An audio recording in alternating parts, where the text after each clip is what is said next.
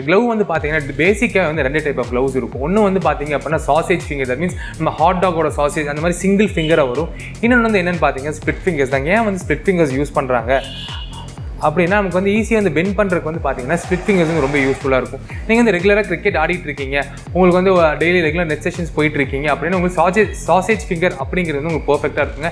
ஏன்னா உங்களுக்கு வந்து பழகிடும் இன்கேஸ் வந்து நீங்கள் வந்து இன்டர்மீடியட்டாக இருக்கீங்க உங்களுக்கு வந்து ஒரு ரெகுலராக வந்து கிரிக்கெட் ஆடுறதில்ல அப்படிங்கிறவங்களுக்கு வந்து ஸ்பிட் ஃபிங்கர் வந்து யூஸ் பண்ணிக்கலாம். ஸ்பிட் ஃபிங்கராக இருக்கட்டும் சாசேஜ் ஃபிங்கராக இருக்கட்டும் என்னதான் இருந்தாலும் நம்ம எப்படி விளையாடுறோம் அப்படிங்கிறது இம்பார்ட்டண்ட்டு பட் வந்து அடிபடாமல் விளையாடுறதுக்கு வந்து ரெண்டு கிளவுமே வந்து யூஸ்ஃபுல்லாக இருக்கும்.